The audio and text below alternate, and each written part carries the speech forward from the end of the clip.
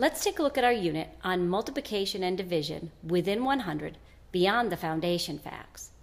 In this unit, students learned that multiplication and division are about working with groups of items and that they are related operations. They learn that there are strategies using known facts that can be used to find the results for unknown facts. Specifically, we do a lot of work with distributive property. In the very first week, students work with models only. So they're provided with a model of 6 times 5, six rows or six groups with five in each. One, one part in this model. They learn that if they don't know 6 times 5, they can create a model that has two parts. Here we have 6 times 3, then 6 times 2. As they work through the first week, they start to get introduced to numbers. So they have a model for 5 times 7. Perhaps they don't know that fact. They can create a two part model because they might know five groups of five and five groups of two. And they start to see the relationship between the model and the parentheses. Five groups of five here represents the green part of the model, and five groups of two represents the blue part of the model. As they move through the week, they're expected then to start going beyond the parentheses that represent the model to putting in the partial products. In this example, the student wrote 40 plus 8. And as they move along, they're also introduced to a number line model.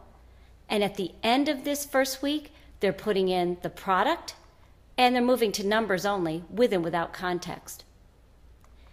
In the second week of instruction, students take that understanding of multiplication facts and they work with the same numbers to do division.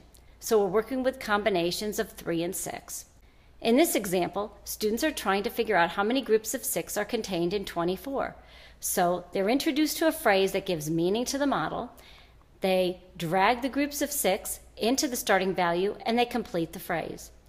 They also work with multiple models to find out how many groups are contained in a starting amount, stacked arrays, columns that build a array, and they work with context.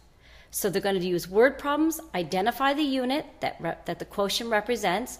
Other words that represent um, groups would be rows, baskets, miles, and at the end of that second week, they're working with numbers only. In the third week of instruction, students are introduced to the 5 plus n strategy. So, a student might have 4 plus 9, and they have to fill in and create a model that's two parts, but one part must be groups of 5. So here, 4 times 5 plus 4 times 4. The same process is used where they first fill in the parentheses that represent the model parts that they create, then they put in the partial product, finally the product, and at the end of that third week, they're doing numbers only, with, with and without word problems. In week number four, they come back to linking those new problems, which were seven, eights, and nines, the most difficult facts, to division. In this case, 21 contains three groups of seven. They move from the phrases into numbers with and without context and numbers only at the end of the third week. This unit also has tool investigations. In this particular tool investigation, students are solving a word problem by building a model and completing the equation. As they work through the three tiers, they're asked to then create their own word problem and model it and fill in the equation. The real world investigation with this unit has to do with Cornerstone School Cafeteria. They're redoing the cafeteria, and students have to determine which size table best fits the amount of students tables that seat groups of four or groups of eight.